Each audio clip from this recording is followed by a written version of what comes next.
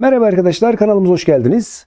Milli Eğitim Bakanlığı yeni bir karar alarak birinci dönem birinci yazılılarının ortak yazılı şeklinde olmasını duyurdu. Tabi duyurduktan sonra ne oldu? Öğrenciler, veliler ve öğretmenler acaba nasıl olacak sorusunun peşine düştü. Şimdi çocuklar okulunuzda ortak yazılı yapılacaksa eğer ne olacak? Açık uçlu sorulardan oluşacak. İşte bu açık uçlu sorulara da örnekler yayınladı Milli Eğitim Bakanlığı. Birazdan çözümlerini yapacağım. Ee, avantaja dönüştürebilir miyiz bu açık uçlu soruları diğer test yöntemine göre? Evet dönüştürebiliriz. Nasıl dönüştürürüz? Çocuklar testlerde 4 tane seçeneğiniz vardı ve siz yanlış bir seçenek işaretlediğinizde o sorudan alacağınız puanın tamamı gidiyordu. Ancak bu yazılılarda açık uçlu sorular olacağı için her yaptığınız işlem puan getirecek. Yani tamamen o sorudan 0 puan almayacaksınız ki o soruyu tamamen yanlış yapmazsanız en ufak bir doğrunuz puan ile değerlendirilecek. Bunu avantaja çevirebilirsiniz ki sorulara baktım ben. Sorular çok zor değil. Derslerde konuyu öğrenirken örnekler yaptığınız örneklere çok benzeyen sorular. Bakın birinci sorumuzla başlayalım. Bu arada kanalımıza abone olarak bundan sonraki çalışmalarımızı takip edebilir, gelişmelerden haberdar olabilirsiniz. Arkadaşlarınıza tavsiye ederek de kanalımıza katkıda bulunabilirsiniz diyelim. Bakın burada sizlerin iki doğal sayının en büyük ortak bölenini ve en küçük ortak katını bilmenizi, hesaplamanızı istiyor kazanım olarak Milli Eğitim Bakanlığı. Ve bununla ilgili problemleri de çözebilmeniz gerektiğini düşünüyor. Tabii ki bu kazanımları kazananlar 8. E, sınıfta bu konuyu almış, öğrenmiş ve bir sonraki konuya geçmiş demektir. Birinci sorumuz bakın bu konuyla ilgili. Bir otobüs durağından her 12 dakikada bir ve her 18 dakikada bir otobüs geçmektedir. İki otobüs saat 08'de duraktan aynı anda geçmiştir. Buna göre aynı gün saat 9 ile 12 arasında bu iki otobüsün aynı anda bu duraktan geçtiği saatleri yazınız demiş. Dediğim gibi konuyu sınıfta öğrenirken yaptığınız örneklere benzer sorular. Çocuklar 12 dakikada bir geçen otobüs 12'nin katlarında, 18 dakikada geçen bir otobüs de 18'in katlarında bu duraktan geçecektir. İkisi aynı anda 8'de geçtikten sonra yine aynı anda hem 12'nin hem de 18'in ortak katlarında bu duraktan geçeceklerdir. O zaman biz ne yapacağız? 12 ile 18'in hemen en küçük ortak katını bir bulacağız. Bakın bunların hepsi puan olarak değerlendirilecek. 2'ye bölünürler. 2'ye böldük 6, 9. 2'ye bölünen 6 var. 2'ye böldüm 3 oldu. 9 bölünmedi. Sonra 2'ye bölünen sayım kalmayınca 3'e bölmeye başlayacağım. 1 kaldı. 9'u 3'e böldüm. 3. 3'ü de 3'e böldüm. 1. Şimdi buradaki asal sayıları çarparak 12 ile 18'in en küçük ortak katlarını bulacağız. Ne var burada? 2 2 var. 2 çarpı 2 2'nin karesi. 3 3 var. 3 çarpı 3 3'ün karesi olur. 2'nin karesi 4'tür. 3'ün karesi 9'dur. 4 kere 9'dan 36'dır. Bu ne demek şimdi? 36 dakikada bir birlikte geçerler otobüsler. Peki bunu tespit ettikten sonra ne yapacağız? E 0 8 0 0'da birlikte geçtiklerine göre 36 dakika sonra yine birlikte geçerler. Yani 8'in üzerine 36 dakikayı ekleyeceğiz ve 08 36'da yine birlikte aynı duraktan geçmiş olurlar. Bize 9 ile 12 arasını sorduğu için devam ettireceğiz. Tekrar 36 dakika sonra yine aynı duraktan geçecekleri için 8.36'nın üstüne 36 dakika daha ekleyeceğiz.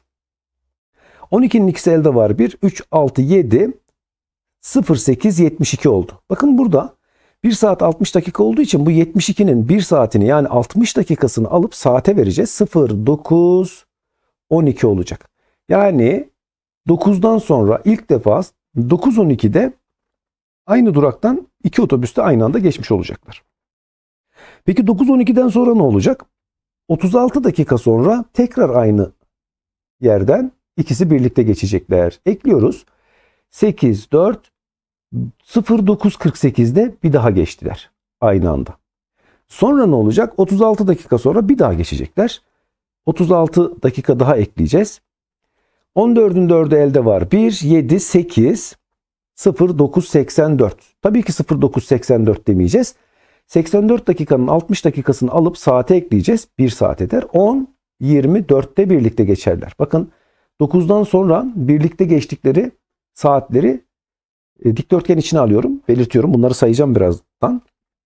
E, sonrasında 10.24'te birlikte geçtiler. 10.24'ten sonra 36 dakika daha geçer ve yine aynı şekilde aynı duraktan aynı anda geçerler. Onun sıfırı elde var 1. 3, 2, 5, 1 de elde 6. 10, 60. 10, 60 diyemeyeceğimize göre bakın 60 dakikayı doldurduğunda saat 11 olur. 11.00'da yine birlikte geçerler. 11.00'dan sonra 36 dakika daha ekleyeceğiz ve 11.36'da yine birlikte bu duraktan geçecekler.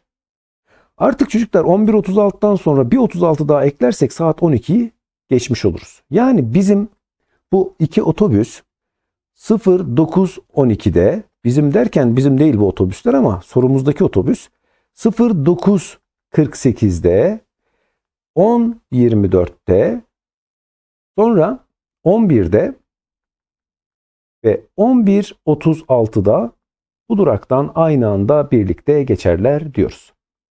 Gördüğünüz gibi bu yapılan işlemlerin hepsi ayrı ayrı puan olarak değerlendirilecek. İkinci sorumuz iki basamaklı 50'li bir sayı ile 12 sayısı aralarında asaldır. Buna göre kariyerine yazılabilecek sayıları bulunuz demiş. Aralarında asal sayılar nelerdir? Ortak bölenleri sadece 1 olan, başka ortak böleni olmayan sayılar aralarında asaldır. O zaman biz bu sayıyı oluştururken 12'nin bölenlerinden sadece 1 1'e bölünmesi şeklinde oluşturacağız. 12'nin bölenlerini yazalım öncelikle. 1 kere 12 12, 2 kere 6 12, 3 kere 4 12. Yani bu 50'li sayı sadece 1'e 12 ile ortak bölünebilir. 2'ye 3'e 4'e 6'ya 12'ye bölünmemelidir. O şekilde ayarlayacaksak eğer bakın mesela kare yerine 0 yazdık diyelim. 50 2'ye bölünür. E 12 de 2'ye bölündüğü için 0 yazamayız. Anladınız mı? 1 yazdık diyelim. 51 oldu. 51 rakamları toplamı 5 1 daha 6 3'e bölünür. 3'e bölündüğü için bakın 12 de 3'e bölünüyor. 51 de yazamam. Çünkü 12 ile aralarında asal olmazlar. 52 yazamam. 12 2'ye bölündüğü için 52 de çifttir. Olmaz. Ama 53 yazabilirim. 53 yazdığımda 53 1'e ve kendisine bölünür. Başka da bir böleni yoktur. Dolayısıyla 12 ile aralarında sadece ortak 1 vardır bölen olarak. 53 ile 12 aralarında asal olur. 54 yazamam çift 2'ye bölünür. 12 de 2'ye bölünüyor. 54 e, yazamam. 55 yazabilir miyim? 55'in bölenleri nedir? 1'dir, 5'tir, 11'dir, 55'tir. Birden başka ortak bölenleri var mı 12 ile? Yok. O zaman 55 de yazabilirim. 56 yazamam çifttir 2'ye bölünür. 57 yazabilir miyim? 57. Bakın çocuklar 57 yazdığımda 5 ile 7'nin toplamı 12'dir. 12 3'ün katı olduğu için 57 3'e tam bölünür. E 12 de 3'e tam bölündüğüne göre 57 de yazamam. 58 çift olduğu için yazamam. 59 yazabilirim. Neden? Çünkü 59'un 1 ve 59 böleni vardır. 12 ile sadece ortak olan 1'dir. Başka da ortak bölen olmadığı için 12 ile aralarında asaldır. Kare yerine yazılabilecek sayılar 3, 5 ve 9'dur diyoruz. Bu şekilde bu sorumuzda cevaplıyoruz. Üçüncü sorumuz uzunluğu 12 üssü 4 cm olan bir telin tamamı her birinin uzunluğu 36 cm olan eş parçalara ayrılmıştır. Bu parçalardan dörder tanesi uçuca birleştirilerek aşağıdaki gibi kare şeklinde çerçeveler oluşturulacaktır. Buna göre oluşturulacak çerçeve sayısını bulunuz demiş. Evet. Öncelikle ne yapalım? 12 üssü 4'ü bir parçalayalım. 12 üssü 4'ü 36 santimetrelik eş parçalara ayıralım. 36'ya bölelim. Çocuklar bu bölme işleminde üstü sayılarla bu 36'yı bölerken ne yapacağız? Bölebileceğimiz, sadeleştirebileceğimiz hale getireceğiz. Yani nasıl yaparız? 36 yerine 3 çarpı 12 yazarız. 12 üssü 4'e böleriz. Bakın 12 üssü 4'ü şu şekilde açabilirim. 12 üssü 3 çarpı 12 bölü 3 çarpı 12. 12'ler gitti. Geriye ne kaldı? 12 üssü 3 bölü 3. Bu bir yöntem. Yani diğer şekilde işte bölme işlemi falan yapabilirsiniz. 12 üssü 3'ü de şu şekilde açayım. 12 çarpı 12'nin karesi bölü 3. Bunlar sadeleştiğinde ne olacaktır? 4, 1, 4 çarpı 12 üssü 2 olacaktır. Yani bir parça tel 4 çarpı 12 üssü 2 santimetre olacakmış. Bunlardan 4 tanesi uçuca eklenecek. E bir de 4 ile çarpacağız o zaman. 4 ile 4'ü çarptığımızda 16 çarpı 12'nin karesi santimetre olacak. Yani bir tane kare oluşturmak için 16 çarpı 10 üssü 2 santimetre tel gereklidir. Bir kare için.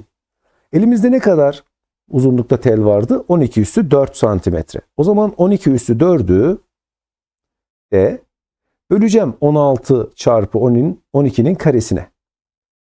Bu da ne olacaktır? Yine aynı şekilde 12'nin karesi çarpı 12'nin karesi yazalım. Bölü 16 çarpı 12'nin karesi yazalım. Sadeleştirelim. Sonuçta ne olacak? 12'nin karesi 144 olacak. Bölü 16 o da eşittir. 144'ü 16'ya böldüğümüzde 9 çıkar. 9 tane kare oluşturulabilir deriz. Yani çerçeve oluşturulabilir kare şeklinde. Evet bu sorumuzun çözümü de bu şekilde. Dördüncü sorumuz. Çözümleme zaten birinci yazılıların kesin sorularından. Çözümleme sorusu mutlaka çıkacaktır. Ondalık gösterimini yazınız demiş. Çözümlenmiş hali verilmiş. Çocuklar bakın 10 üssü 1 10'dur. 4 tane 10 40'tır. Tamam mı? Bu şekilde yapabilirsiniz. 3, 10 e, üssü 0 1'dir. 3 tane 10 üssü 0 yani 13 tane 1 3'tür. Artı 7 tane 10 üssü eksi 2. 10 üssü eksi 2 0 tam yüzde 2'dir. 0 tam yüzde 7 olarak yazılır. Artı 2 tane 10 üssü 3. 10 üssü 3 10 üssü eksi 3 de 0 tam binde 1'dir. 2 tane ise 0 tam binde 2 olarak yazılır. İşte bunları topladığımızda 43 tam onda birliği yok. Yüzde 7'si var. Binde 2'si var. 43 tam binde 72 olarak bulunur. Peki başka nasıl yaparız? Bakın bunun konuyu kesin çıkacak böyle bir soru. Şöyle yapabiliriz. 10 üssü sıfıra kadar nedir? Virgülden öncedir. Yani 4 tane 10, 3 tane birlik 43 tam. Sonrasında 10 üssü eksi 1, 10 üssü eksi 2, 10 üssü eksi 3 basamakları var. 10 üssü eksi birliği yok. 10 üssü eksi 2'den 7 tane. 10 üssü eksi 3'ten de 2 tane. Bu şekilde 43'ten binde 72 olarak da yazabiliriz. Evet aşağıda verilen sarı renkli karenin bir kenar uzunluğu 11 santimetredir. Mavi renkli karenin alanı sarı renkli karenin alanından 48 santimetre kare fazladır. Buna göre mavi renkli karenin bir kenar uzunluğu kaç santimetredir demiş.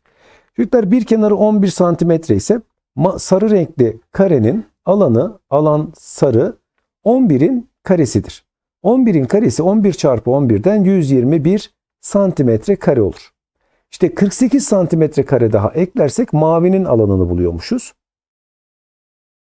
O 121 artı 48'den ne olacak? 169 santimetre kare olacak.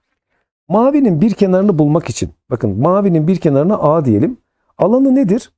Alanı A karedir. A kare 169 santimetre kareye eşitmiş.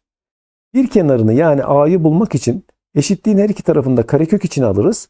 A kare A olarak çıkar. 169 da 13'ün karesi olduğu için tam kare bir sayıdır. 13 olarak çıkar. Bir kenarımız 13 santimetre olarak bulunur diyoruz mavi karemizin. Evet ne demiş? 3 kök 2 sayısının hangi ardışık iki doğal sayı arasında olduğunu bulunuz. Çocuklar 3 kök 2'yi öncelikle katsayıyı karekökün içine atarak şu şekilde yazmalıyız. Kareköklü sayılarda katsayı karekökün içine nasıl atılıyordu? Katsayının karesi alınıyordu ya da şöyle diyelim kendisiyle çarpılıyordu. 3 kere 3 9 karekökün içine atılıp karekökün içindeki sayıyla da çarpılıyordu. 9 kere 2 de 18. Karekök 18'e eşittir. 3 kök 2. Peki karekök 18 hangi tam sayılar arasındadır? Öncelikle şöyle yazacağız. 18 hangi tam kare sayılar arasındadır? Yani 18'den önce gelen tam kare sayımız nedir? 16. Sonra gelen de 25'tir. Peki şimdi ne yapacağız? Biz 18 hangi tam kare sayılar arasındadır diye bakmıyoruz. Neye bakıyoruz? Karekök 18 hangi tam kare sayılar arasındadır diye bakıyoruz. Dolayısıyla hepsinin karekökünü alacağız. Karekökü aldıktan sonra karekök 18 bakın karekök 16 4'e eşittir. Karekök 25 de 5'e eşittir. 4 ile 5 arasındadır diyoruz. Nokta. Sonra sonra sonra A ve B birden farklı pozitif tam sayılar olmak üzere kök 18 sayısı A kök B şeklinde yazınız demiş. Yazalım. Çocuklar karekök 18'i A kök B şeklinde yazacaksak eğer asal çarpanlarını ayırmalıyız. 2'ye bölünür 9 olur. 9 da 3'e bölünür 3 olur. 3 de 3'e bölünür 1 olur. Yani biz karekök 18 yerine şurayı yapalım. Karekök 18 yerine 2 çarpı 3'ün karesi yazabiliriz. E 3'ün karesi ne olur? Dışarıya 3 olarak çıkar. 2 de içeride kalır. Karekök 18 a kök b şeklinde yazılacaksa 3 kök 2'ye eşittir diyoruz. 8. sorumuz karekök 245 çarpı karekök 45 bölü karekök 75 çarpı karekök 27 işlemini yaparak sonucu bulunuz demiş. Çocuklar bu çarpma ve bölme işlemi olduğu için şu şekilde yazılabilir. Bakın bu şekilde yazarsanız hiç kafanız karışmaz. Kare, aynı karekökün içerisinde 245 çarpı e, 45 bölü 75 çarpı 27 olarak yazabiliriz. Niye böyle yazdık? Sadeleştirme yapalım diye böyle yazdık. Şimdi 45'i 15'e böl 3, 75'i 15'e böl 5. Sonrasında 3'ü 3'e böl 1, 27'yi 3'e böl 9. 245'i 5 ile sadeleştirelim. Ne olur? 5'i 5'e böl 1 olur. 245'i 5'e böldüğümüzde 4 kere var, 9 kere var. 49 olur. Sonuçta da 49 bölü 9 olur. İşte karekökün içindeki işlemin sonucu budur. Eşittir deriz. 49 7 olarak çıkar. 7'nin karesidir. 9 da 3 olarak çıkar. 7 bölü 3'tür. İşlemin sonucu bu olur. Tam sayılı kesir olarak yazarsak da 7'yi 3'e böldüğümüzde 2 kere var. 2 tam 1 bölü 3 olarak bulunur diyoruz. Evet diğer bir sorumuz bakalım bakalım. Alanı 24 santimetre kare olan bir dikdörtgenin kenar uzunlukları santimetre cinsinden birer tam sayıdır. Buna göre bu dikdörtgenin çevre uzunluğunun santimetre cinsinden alabileceği değerleri yazınız demiş. Hemen bir dikdörtgen çizelim. Siz de bu soruları yaparken bir dikdörtgen çizerseniz işiniz kolaylaşır. Bakın alanı yani kısa kenarla uzun kenarı A, B diyelim. Alanını bulurken biz kısa kenarla uzun kenarı çarparız. Bu da alanı 24 santimetre kare olduğuna göre 24'ün çarpanlarıdır. Yani 1 çarpı 24 24'tür. Kısa kenarı şu şekilde yazalım çocuklar. Bakın virgül koyarak yazacağım. Kısa kenarı 1, uzun kenarı da 24 olabilir. Peki virgül koyuyorum şimdi. Başka ne olabilir? 2 çarpı 12 de 24'tür. Yani kısa kenarı 2, uzun kenarı 12 de olabilir. E, 3 çarpı 8 de 24'tür. Kısa kenarı 3, uzun kenarı 8 olabilir. 4 çarpı 6 da 24'tür. Kısa kenarı 4, uzun kenarı da 6 olabilir. Peki neyi sormuştu bize? Çevre uzunluğunu, çevre uzunluğunun alabileceği değerleri. Çevre uzunluğu da dikdörtgenin kısa kenarla uzun kenar toplanır. İkişer tane olduğu için bundan 2 ile çarpılarak bulunur. O zaman biz birinci durumda kısa kenarı 1, uzun kenarı 24 ise bunu toplayıp 2 ile çarptığımızda çevresini parantezin içi 1 24 daha 25 2 ile çarp 50 santimetre bulabiliriz. İkinci durumda kısa kenarı 2, uzun kenarı 12 olduğunda 2 ile 12'yi topla 14, 2 ile çarp 28 santimetre olarak da bulabiliriz çevresini. Üçüncü durumda 2 çarpı 3 artı 8 Kısa kenar uzun kenar toplamı 11. 2 ile çarptığımızda 22 santimetre olarak da bulabiliriz. Dördüncü durumda da kısa kenar 4, uzun kenar 6 ise kısa kenar uzun kenar toplamı 10. 2 ile çarptığımızda 20 santimetre olarak da bulabiliriz. Yani çevresinin alabileceği değerler 20, 22, 28 ve 50 santimetre olabilir diyoruz. Evet yine bir soru bunu çözmüştük. Bunu çözmüştük. Bunu çözelim şimdi. Geri dönüşüme kazandırılan 150 kilogramlık atık kağıttan 120 kilogramlık kağıt elde edilebilmektedir. Buna göre 60 ton kağıt elde edebilmek için geri dönüşüme kazandırılması gereken atık kağıt miktarının kilogram cinsinden bilimsel gösterimini bulunuz demiş. 7. sınıfta öğrendiğimiz oran orantı konusuyla alakalı bir soru ve bilimsel gösterimle ifade edilebiliyor mu edilemiyor mu onu ölçen bir soru çocuklar. Bu arada sorularla ilgili düşüncelerinizi yorumlar kısmına yazarsanız sevinirim. Çocuklar şöyle bir orantı kuracağız. 150 kilogramlık atık kağıttan 120 kilogram kağıt elde ediliyormuş. Peki 60 ton kağıt elde edebilmek için 60 ton da 1000 kilogram. Bakın bunlar kilogram olduğu için tonu da kilograma çevireceğiz. 60 ile 1000'i çarptığımızda 60 bin kilogram olur. Ne elde edeceğiz? Kağıt elde edeceğiz. Bakın kağıdı kağıdın altına yazacağım. 60 bin kilogram kağıt elde etmek için kaç ton atık kağıda ihtiyaç vardır? Bu şekilde bir orantı kuracağım. Tabi bu sayıları onu da gösterelim burada. 150'yi mesela 15 çarpı 10 üssü 1 olarak, 120'yi 12 çarpı 10 üssü 1 olarak, 60 bini de 6 çarpı 10 üssü 4 olarak yazabiliriz. Yani bu sıfırları onun kuvveti şeklinde yazabiliriz. Yazdıktan sonra tabi kağıt miktarı artacaksa atık kağıt miktarı da artacaktır. Doğru orantı vardır. Doğru orantı varsa çapraz çarpımları birbirine eşittir. O zaman ne yapacağız biz? Üst üste ifadeleri çarpalım. 12 çarpı 10 üssü 1 çarpı x eşittir. 15 çarpı 10 üssü 1 çarpı 6 çarpı 10 üssü 4 yazalım. Her iki tarafı da 12 çarpı 10 üssü 1'e bölelim. X yalnız kalsın. Bunlar gitti. X eşittir deriz ve şu şekilde sadeleştirmelerimizi yapıp buluruz. Bakın 10 üssü 1 çarpım durumunda olduğu için sadeleşti. 12'yi 6'ya böl 2. 6'yı 6'ya böl 1. Sonuçta ne oldu?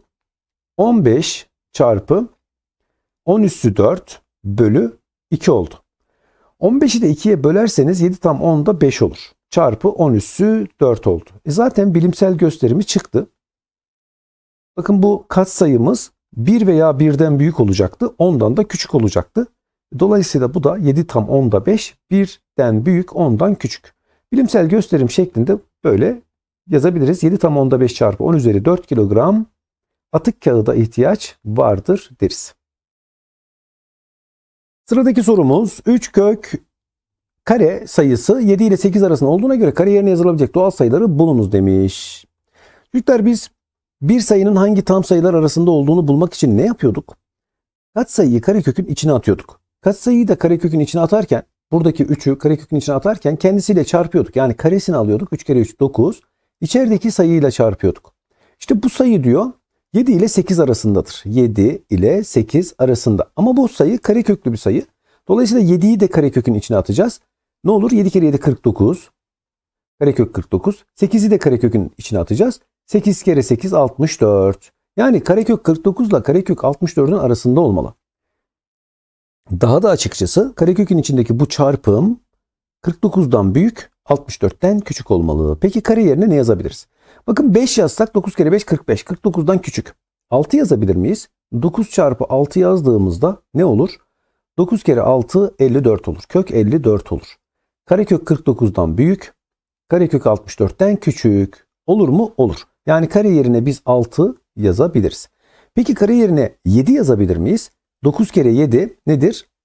63'tür. Karekök 63 olduğunda da 7'den büyük 8'den küçük mü? 7 ile 8 arasında mı? Evet. Karekök 49'dan büyük. Karekök 64'ten küçüktür. Dolayısıyla biz kare yerine 7 de yazabiliriz. 6 ve 7 doğal sayılarını yazabiliriz diyoruz.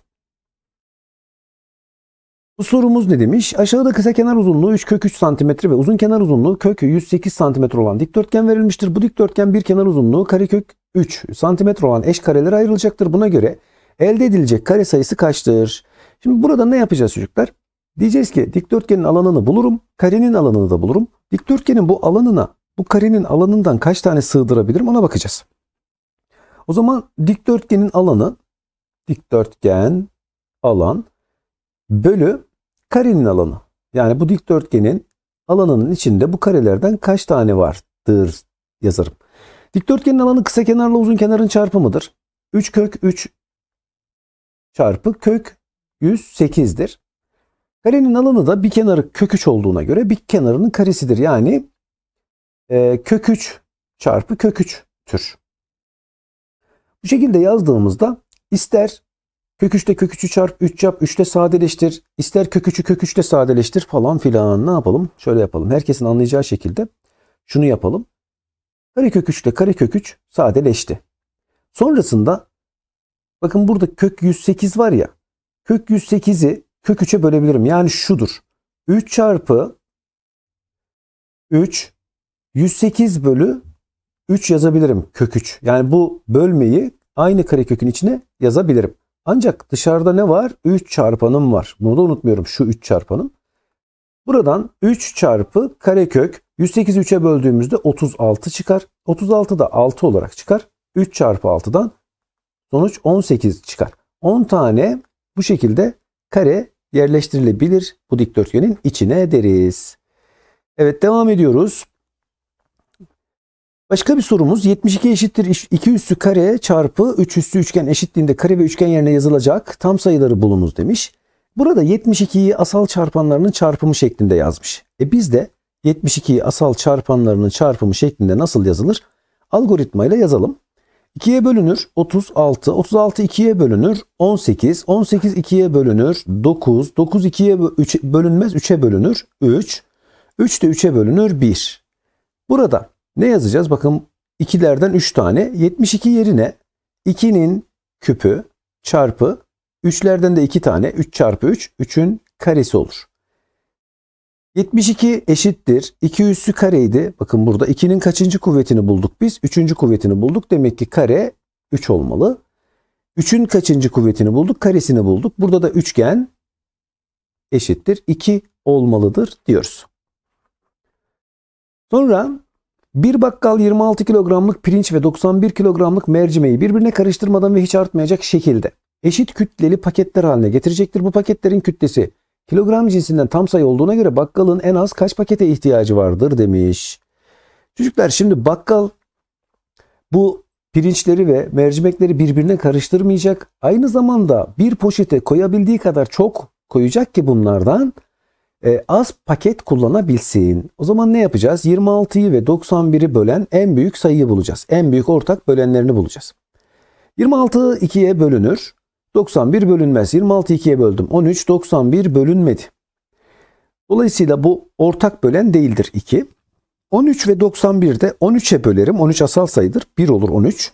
91 de 13'e bölünür 7 olur. 7'yi de 7'ye bölerim 1 olur. Burada 13 her iki sayıyı da böldüğü için ortak bölendir. İşaretlerim.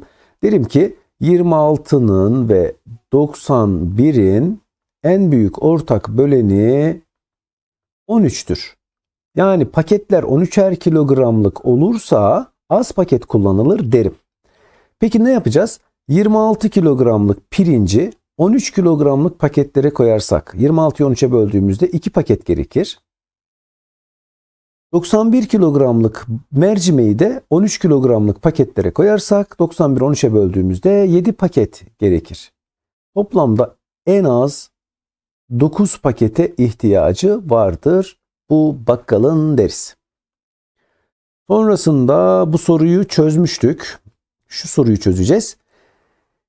A eksi 5'in küpü B de 2'nin eksi 4. kuvveti olduğuna göre A ve B sayılarını bulunuz demiş. Çocuklar eksi 5'in küpü bulunurken negatif sayıların tek kuvvetlerinde sonuç ne olur? Eksi olur. 5'in küpü de 5 kere 5 25 25 çarpı 5 125 olur. A eksi 125 olarak bulunur. B de 2 üstü eksi 4'müş. Öncelikle negatif üstten bir kurtulalım.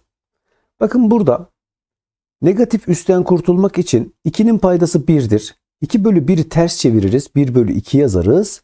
Üssümüzün eksisini de artı yaparız. Yani 1 bölü 2'nin 4. kuvvetine eşittir. 2'nin eksi 4. kuvveti.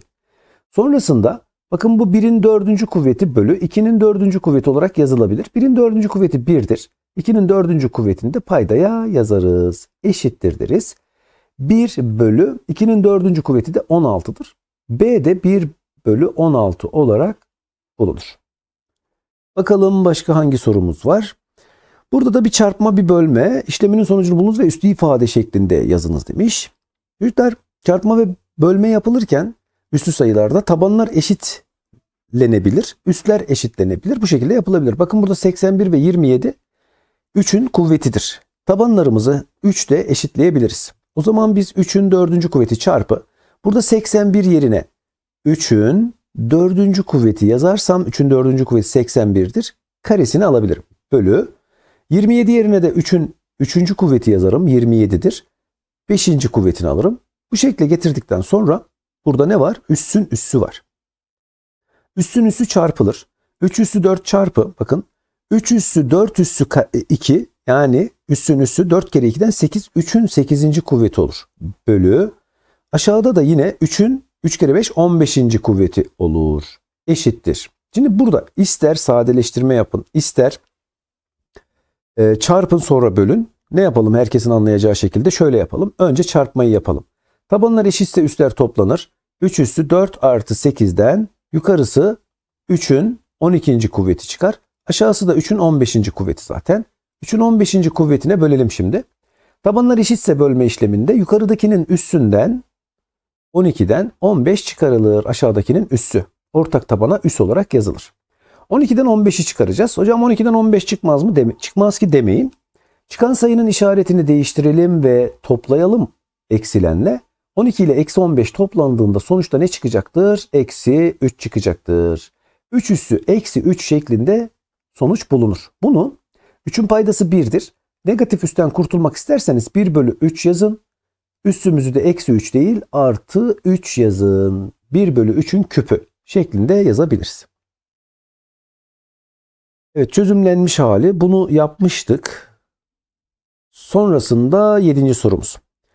314 çarpı 10 üssü 7 eşittir 3,14 çarpı 13, 10 üssü x eşitliğine göre x kaçtır demiş. Şimdi çocuklar 314 çarpı 10 üssü 7'de virgül var mı? Var. Nerede? Burada. Her sayının virgülü vardır. Lazım olduğunda yazarız. Şimdi biz bu virgülü 314 tam olan katsayıyı iki basamak sola çeker. 3,14 yazarsak yani katsayımızı 314'ten 3'e düşürürsek katsayımızı küçültürsek iki basamak sola geldiği için üssümüzü de ne yapmalıyız? 2 tane büyütmeliyiz. 10 üssü 9 yapmalıyız. İşte burada x 9 olmalıdır diyoruz. Sonrasında bunu yapmıştık. Sonrasında bunu yapmış mıydık? 9, 18 karekök. Evet bakalım bunu da bilmiyorum yaptık mı? Yine de yapalım. Çocuklar 3 kök 2 sayısının hangi ardışık doğal sayı arasında olduğunu bulunuz demiş. Karekökün içine atacağız katsayıyı. 3'ü kendisiyle çarp 9. İçeride de 2 ile çarp karekök 18. Karekök 18 hangi tam kare sayılar arasındadır? 16 ile 25 arasında. O zaman biz karekök 16 yazacağız. Sonrasında da karekök 25 yazacağız. E karekök 16 4'tür. Karekök 25 de 5'tir. E 4 ile 5 arasındadır karekök 18. Yani 3 kök 2 4 ile 5 arasındadır diyoruz. Sonraki sorumuz toplama ve çıkarma işlemiyle ilgili kareköklü sayılardan. Çocuklar toplama ve çıkarma yapabilmemiz için sayıların karekökleri aynı olmalıdır. Bakın burada hepsinin de karekök 3'ü var. Tamam çok güzel. Varsa ne yaparız? Aynıysa kaç sayılar arasında toplama çıkarma yapar. Kaç sayıya yazarız? Ortak karekökü de kareköke yazarız. Bu şekilde 2 10 daha 12. 12'den 7 çıktı. 5 kök 3 olarak sonucu buluruz. Evet sorularımız bitmiş. Çocuklar ortak yazılıda sorulacak açık uçlu sorularla ilgili çözümler yaptık. Milli Eğitim Bakanlığı'nın yayınladı. Büyük ihtimal sınavlarınızda bu sorulara benzer sorulardan olacak. Yorumlar kısmına sorularla ilgili değerlendirmelerinizi yapabilirsiniz saygı çerçevesinde. Kanalımıza abone olarak bundan sonraki çalışmalarımızı takip edebilir. Arkadaşlarınıza tavsiye ederek kanalımıza katkıda bulunabilirsiniz. Kendinize iyi bakın. Hoşçakalın.